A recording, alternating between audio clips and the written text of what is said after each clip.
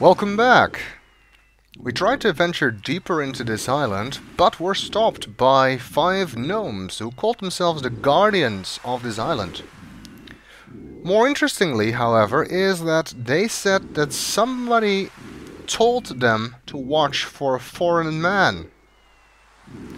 And we saw a cutscene where Alhazred told that strange, silly uh, little man who got drunk off eating a mint to go to the other islands and tell them something. Could they have been warned about us? Seems uh, possible. Anyway, the gnomes showed up when we tried to go uh, east. Maybe if we go into the jungle, we'll be more lucky. Alexander hears someone coming. Or not.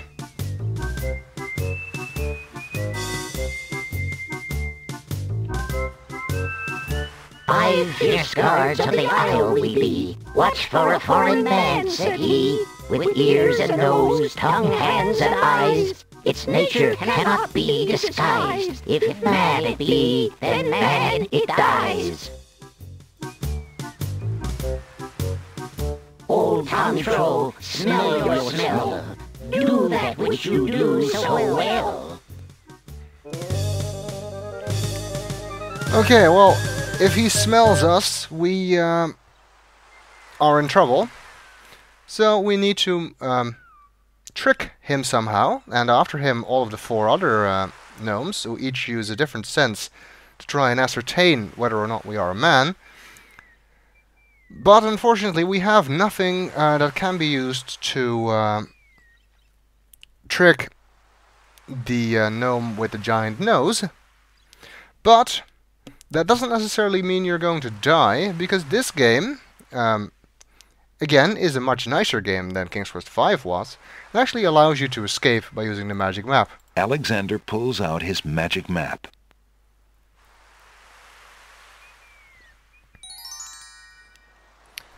Okay, well, since we can't go any further on the Isle of Wonder, let's check out the Isle of the Sacred Mountain. Alexander feels a strange pulling sensation.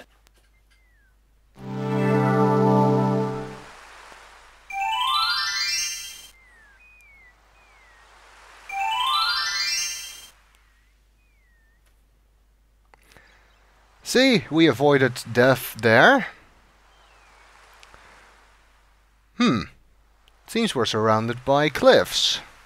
That's going to be uh, uh, difficult to get any further. If you read the guidebook, um, it actually confirms that where the ferry drops you off is um, also a small beach surrounded by cliffs, so that might be the same place. But it said that uh, almost immediately you would be greeted by a welcoming committee from the Winged Ones, the people who live on the Isle of the Sacred Mountain. However, it doesn't look like they're uh, showing up. I guess um, since the islands are feuding, they may not be so keen to welcome visitors anymore. Additionally, maybe they only show up when you arrive by ferry. I mean, since we use a magic map to come here, it's not as if they saw us coming. Alexander is standing on the small sandy cove of a rocky island. Around him, sheer granite cliffs block any further movement north, east, or west. To the south, he is blocked by the sea. Well, I guess if you wanted to sunbathe somewhere in privacy, this would be the place.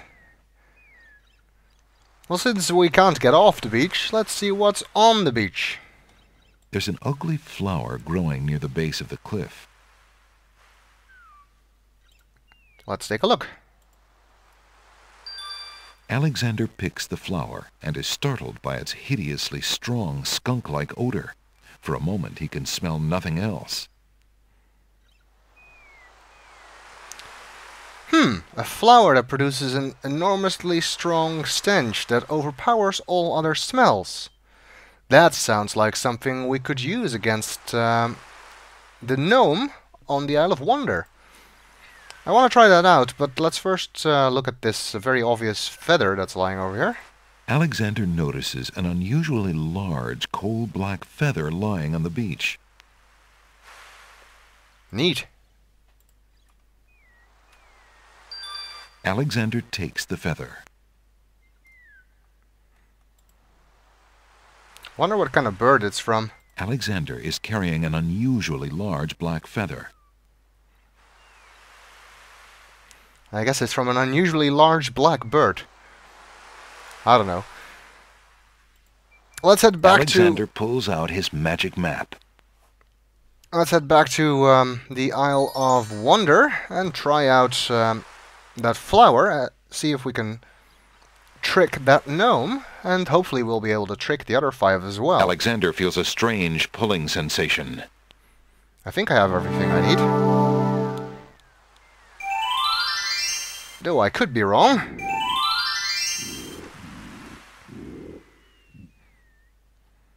I'm gonna save just in case.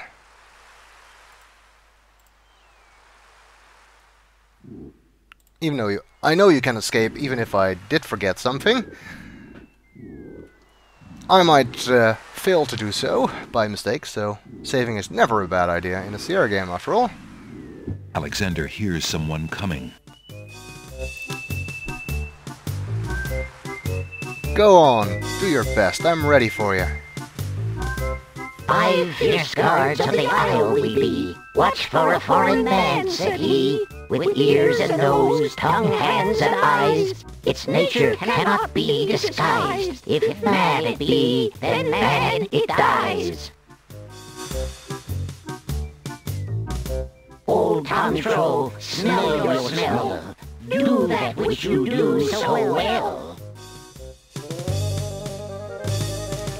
It's a good thing that apparently uh, the smelling gnome and all of the other gnomes, except for the last one, don't actually use their eyes. Actually, we could easily be defeated here if they just you uh, all just check us out all at the same time rather than one after the other. But they don't, so that's good for us. Let's try out this flower of stench. Alexander holds the flower of stench out to the gnome with the jumbo nose. Tom trow I am, that's all I'll be. My nose knows all on land and sea. A flower of stench has washed ashore, a flower 'tis all, and nothing more.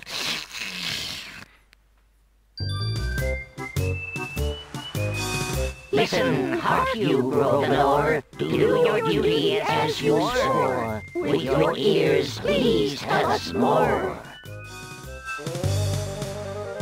Man, that guy's all ears. An odd-looking gnome stands before Alexander. He has incredibly huge ears. Now, um, I think if you actually have if you have the flute from uh, from the pawn shop, you can try and play it here. But he'll be all like, "Oh, uh, men play flutes, so it must be a man." But uh, much like uh, Sing Sing, this gnome can be tricked by a mechanical nightingale, which means that although his ears are good, apparently he doesn't know what a real nightingale sounds like. Alexander winds the tin nightingale and plays it for the gnome with the monumental ears.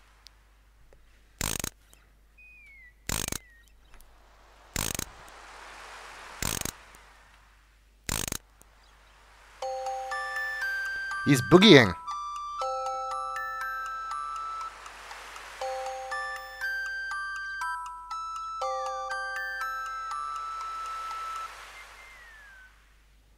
A nose is not a way to spy. My ears cannot be told a lie. A nightingale is all there be. No man is near, and so say me. Let's see what's next. Taste, Rump, that we might know whether friend or whether foe.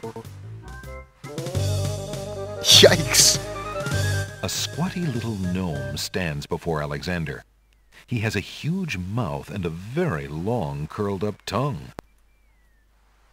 He must be popular with the ladies. Perhaps we can trick him using a mint.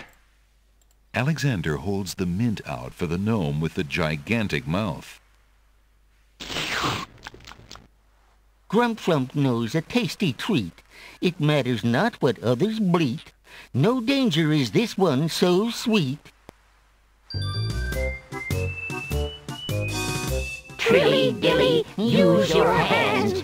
Is it beast or is it man? A gnome with very large hands stands in front of Alexander.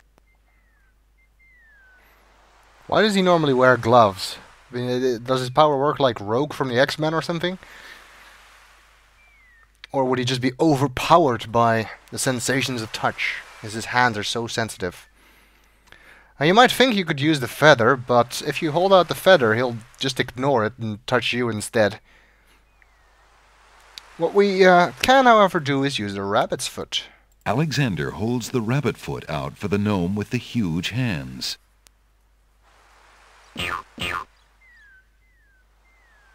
Be all you mad? What aileth thee? A bunny can't trill merrily. A hare does not at all taste sweet. A rabbit here is all we greet.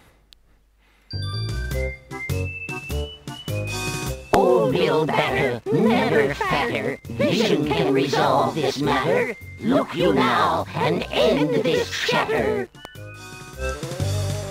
Okay, A gnome with gigantic eyes is standing before Alexander. The final gnome, who apparently uses vision to uh, detect what's standing in front of him, which, you know, they might have done up front, would have saved a lot of time. Um, unfortunately, he keeps his eyes closed most of the time. But how do, do we um, trick him, is the question. It's not as if we have a disguise. And technically, um, although the game doesn't let you do it, I suppose if you could um, use the, if if the game actually made sense, you would be able to use the map now. In which case, you'd be gone, um, letting the gnome think there's nothing there, and then they shouldn't come back. But um, that doesn't actually work. What does work, however, is the uh, invisible ink which we can use to disappear, as we saw when we spilled it before. Alexander pours the contents of the empty-looking ink bottle over himself. By all that's beauteous, fair, and sightly, four morons do I sleep with nightly. There's nothing there at all, I say. Enough of this. Let's now away.